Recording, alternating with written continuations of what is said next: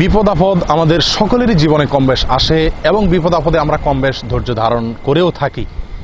কিন্তু আশ্চর্যের বিষয় হলো, আমরা অনেক লোক জীবনভর ধৈর্য ঠিকই ধারণ করি, সবর ঠিকই করি, কিন্তু সবরের যেরকম ফলাফল পাওয়ার কথা, সেরকম ফলাফল আমরা আসলে পাই না। অনেকেই জীবনভর সবর করে যান, কিন্তু সবরের ফলাফল ভালো দেখতে পান না। শুভ পরিণাম তিনি দেখার সৌভাগ্য তিনি অর্জন করেন না। প্রিয় বন্ধু, এর কারণ কি? এর কারণ হলো যে আমরা সেইভাবে সবর করার তৌফিক অর্জন করি না, সেভাবে সবর করতে পারি না হয়তো, যেভাবে সবর আল্লাহ সুহাতালা চান। সবর দুই প্রকার, একটা তো সাধারণ সবর, সাধারণ ধৈর্য। সাধারণ ধৈর্য, এটা আল্লাহ সুহাতালা চান না। আল্লাহ সুহাতালা যেটা চান, সেটাকে কোরআনের ভাষায় বলা হয় সবরে জামিল। সবরে জামিল মানে উত্তম সবর, সুন্দর সবর।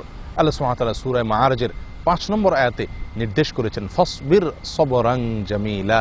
অতএব আপনি সবর করুন এমন সবর যে সবরটা হলো সবে সবরে জামিল, যে সবরটা হবে অত্যন্ত সুন্দর সবর। আর সবরে জামিল কাকে বলা হয়? সবরে জামিল বলা হয় ওই সবরকে যেই সবরের মধ্যে কোনো অস্থিরতা, কোনো রকম অস্থিরতার প্রকাশ থাকবে না, কোনো রকম হায় হায় থাকবে না, হাহুতাশ থাকবে না, ব্যাকুলতা মানুষের সামনে প্রকাশ করার প্রবণতা থাকবে না। বরং কষ্টকে হজম করার মানসিকতা থাকবে, এটাকে বলা হয় সবর। আমরা অনেকেই বিপদে পড়লে আহুতাশ করে টরে যখন আর কোনো কিছু করার থাকে না, তো বাধ্য হয়ে শেষ পর্যন্ত বলি, ঠিক আছে, সবর করলাম।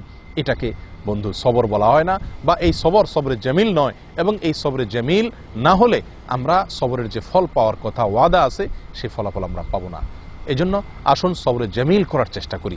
আল্লাহ তালা আমাদেরকে সবরে জামিল করার তৌফিক দান করেন। নবী সাল্লাহ সাল্লাম হাদিসের ভিতরে ইরশাদ করেছেন, বুখারি সন্দন হাদিসের কিতাবে আসছে, ইন্নামা সবর আইন্দা সদমাতিল উলা নিঃসন্দেহে সবর বা ধৈর্য, এটা হয় প্রথম সদমা, প্রথম আঘাতের সময়।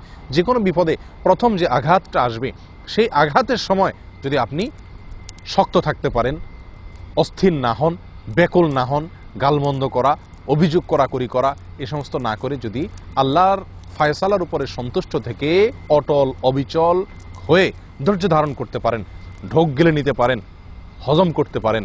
তাহলে ইনশা আল্লাহ এটাই হবে সবর। নবী সাল্লাহ সাল্লাম বলেছেন, এটাকেই বলা হয় সবর। এটাই সেই সবর, যেই সবর করতে পারলে আল্লাহ সুমাতালা বলেছেন ইন্নআল্লাহ মাহাসবিন আল্লাহ তালা ধৈর্য ধারণকারীদের সঙ্গে থাকবেন।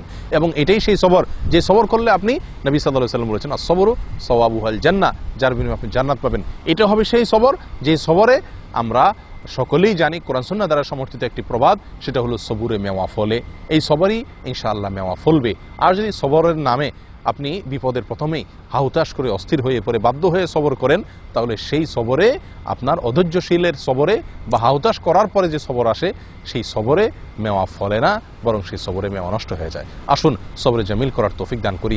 এটি আল্লাহ তালা তৌফিক ছাড়া সম্ভব নয়, অত্যন্ত কঠিন একটি আমল। আল্লাহ তালা আমাদের সকলকে সবরে জামিল করার তৌফিক দান করেন। জাকমুল্লাহ ওয়াখরুদ আওয়ান আলহামদুলিল্লাহ আলমী